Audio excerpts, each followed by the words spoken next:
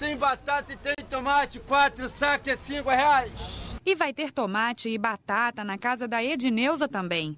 A aposentada, que cozinha para a família todo dia, diz que tem percebido diferença na hora de fazer as compras do mês. Da batata, da cenoura, é, no chuchu também. Você acha que tá mais barato? Mais barato.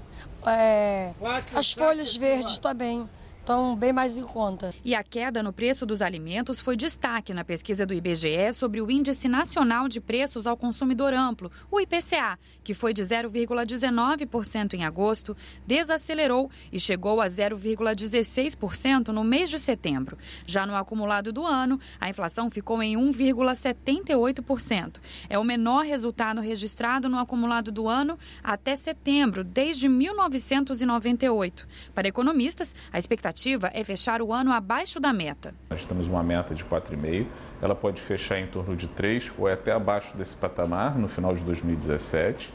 Boa parte desse recuo da inflação que a gente se assiste em comparação ao ano passado veio da contribuição de alimentos. Vários alimentos da cesta básica, arroz, feijão, carne, leite, ficaram mais baratos ao longo dos últimos 12 meses. Então, quando a gente compara o preço desse ano, está bem menor né, do que o preço praticado no ano passado. Né? E isso, é claro, é, é, é, traz um benefício principalmente para as famílias de baixa renda. A queda no grupo dos alimentos foi a quinta seguida, influenciada principalmente por aqueles consumidos dentro de casa. O resultado é efeito da boa safra em 2017, segundo o IBGE.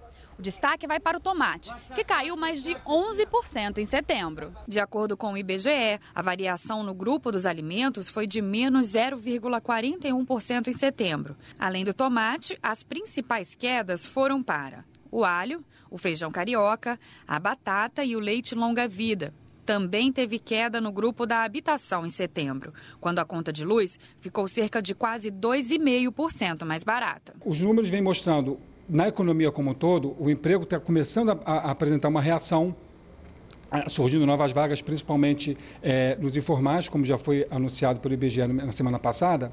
Isso tudo contribui de alguma forma para que haja espaço para que as famílias possam voltar a consumir. Nas redes sociais, o presidente Michel Temer comentou a queda da inflação e disse que o resultado é reflexo da política econômica adotada quando assumiu o governo. Maria de Jesus comemora a queda dos preços. É bom porque a gente economiza para a gente comprar outras coisas que tem necessidade do arroz, do feijão, né?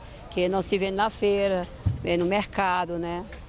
Isso aí contribui também com o bem-estar da saúde, da gente fazer um bom almoço, uma, bo uma boa janta, né?